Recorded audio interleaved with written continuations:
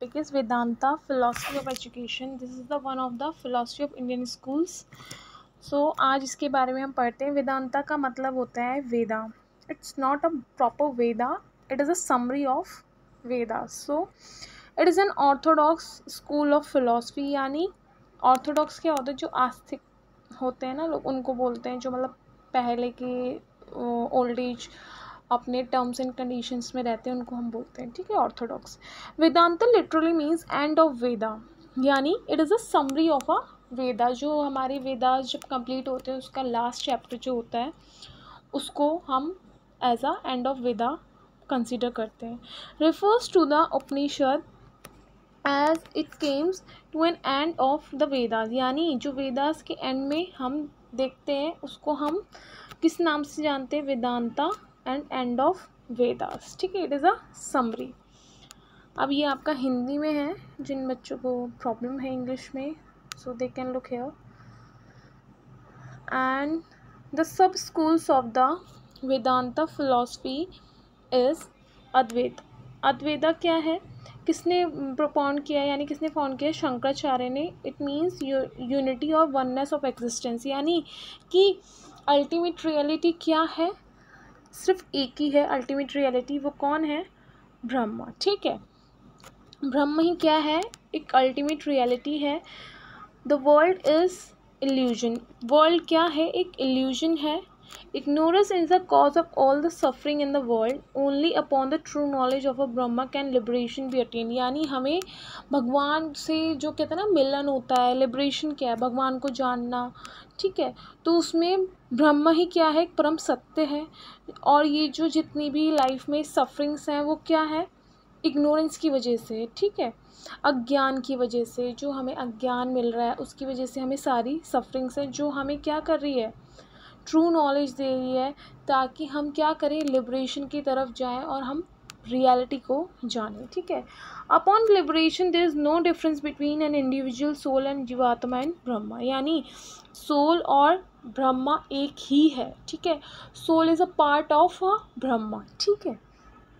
अब ये आपका हिंदी में है, जिन बच्चों को हिंदी में नोट्स चाहिए, उनके लिए मैंने ऐड ऑन कर दिया है। अब आ जाता है विशिष्ट अद्वैत अद्वैता। या, यानी ये किसने आपका प्रोपाउंड किया? यानी फाउंड किया है आपका ये आपका फाउंड किया है रामानुजाचार्य ने ठीक है?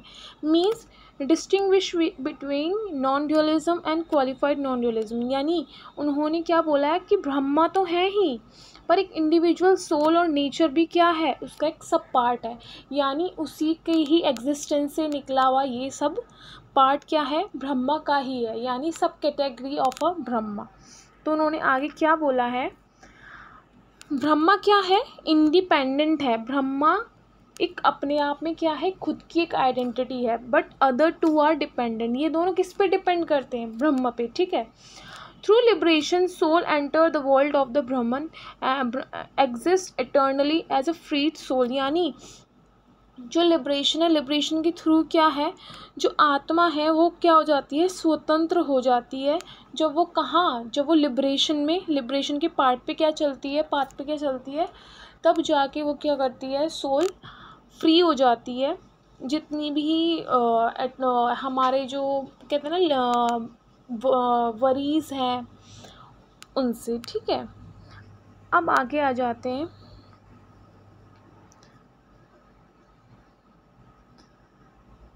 द्वैता ठीक है, अब ये किसने आपका फ़ोन किया है? ये फ़ोन किया आपका माधवाचार्य ने। ठीक है there is a permanent duality between Brahman and soul यानी कि आत्मा और ब्रह्म के बीच में भी क्या है? एक कनेक्शन है।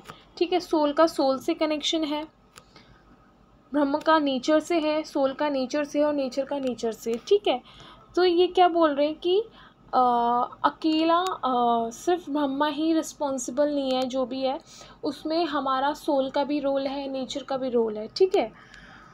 तभी इसका नाम किस पे पड़ा है? द्वेता, ठीक है? God is not a passive witness यानी ईश्वर निष्क्रिय साक्षी नहीं है but an active controller who is responsible for the liberation being यानी जो भी आप एक सक्रिय नियंत्रित जो प्राणियों की मुक्ति के लिए जिम्मेदार है, यानी जो लिबरेशन का पाथ है, उस पर आपको कौन हेल्प कर रहा है? ब्रह्म हेल्प कर रहे हैं, यानी गॉड हेल्प कर रहे हैं, ठीक है?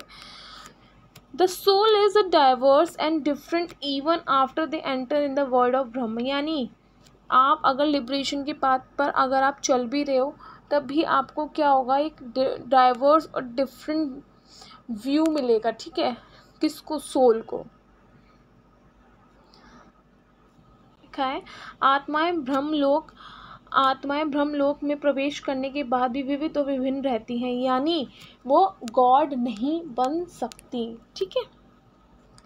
अब ये आ जाता है हम एज अ फिलोसफी इसे क्यों पढ़ रहे हैं? The aim of education for Vedanta क्या है?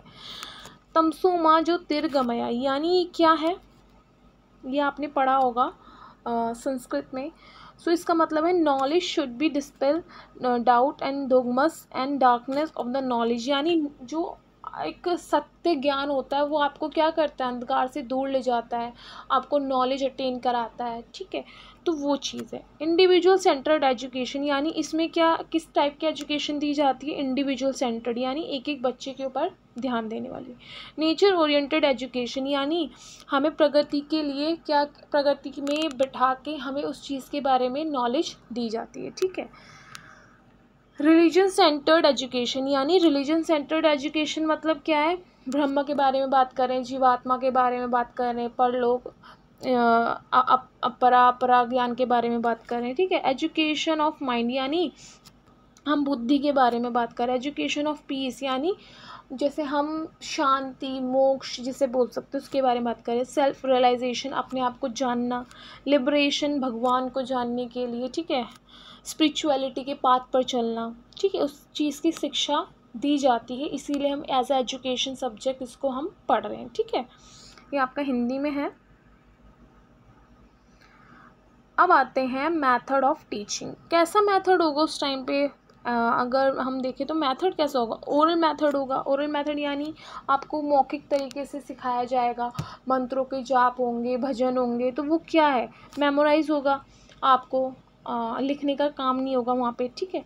चिंतन यानी आप चिंतन करके थिंकिंग करके चीज़ों को सीख सकते हो। थ्री स्टेज कौन कौन सी होती है? श्रवण यानी हेयरिंग आप मंत्रों को अच्छे से सुनोगे। फिर उसके बाद क्या है? मनन यानी उनको याद करोगे ठीक है? मनन यानी उनको याद करोगे मेडिटेशन निधि ध्यानसन यानी रियलाइजेशन और एक्सपीरियंसेस यानी उनको रियलाइज़ करोगे उनसे सीखोगे फिर उनको रिपीट करोगे ठीक है? फिर क्या है? लेक्चर मेथड है, फिर स्टोरी टेलिंग मेथड है सेल्फ स्टडी मेथड है, फिर मॉनिटरिंग मेथड है। ठीक है these are the method of teaching and this is in Hindi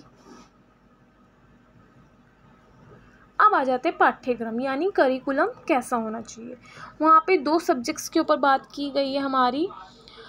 paravidya और अपराविद्या। पराविद्या कौन सी होती है? हमारी स्पिरिचुअल नॉलेज यानी वेदास एस्टिमोलॉजी लॉजिक ब्रह्म विद्या और अपराविद्या कौन सी होती है? हमारी वर्ल्डली नॉलेज यानी Yajurveda zoology science chemistry astrology physics and etcetera ठीक है? These are the two subjects of Vedanta philosophies ठीक है, अब आ जाता है role of teacher role of teacher कैसा होगा? Role of teacher as a guru as a mentor as a facilitator ठीक है? तो टीचर इज़ अ गुरु और एजुकेशनल पेरेंट थी यानी जो शिष्य आते थे, वो क्या अपने पिता समान किसको मानते थे? गुरु को मानते थे। उनकी सेवा भी पिता समान करते थे। ठीक है? He is extremely influence of the life of the disciple यानी वो अपने जो डिसाइपल थे, जो शिष्य थे, उनकी लाइफ में बहुत इन्फ्लुएंशियल पार्ट क्या करते थे? रोल प्ले करते थे। अब आ जाते हैं आगे। To aim of the teacher are to prepare them for a practical world यानी प्रैक्टिकल वर्ल्ड यानी आने आने वाली लाइवलीहुड के लिए तैयार करना एक्वायर स्पिरिचुअलिटी यानी स्पिरिचुअलिटी के लिए उनको तैयार करना, यानी लिबरेशन मिल जाए, मोक्ष मिल जाए। तो पच्चीस साल तक वो क्या करते थे? इस चीज़ के लिए तैयार करते थे। अगर इन फर्दर आपको लिबरेशन चाहिए गॉड को और जानना है तो आपको अपना टाइम और देना पड़ेगा ठीक है? और ये कहाँ होती थी? ये एजुकेशन सी एजुकेशन होती थी गुरुकुल में और आश्रम्स में जो जहाँ पे टीचर्स रहते थे ठीक है? आपके आपको अपना घर छोड़ के त्याग के फिर आपको जाना पड़ता है and this is it uh, if you want more videos then subscribe my channel. Thanks for watching my video.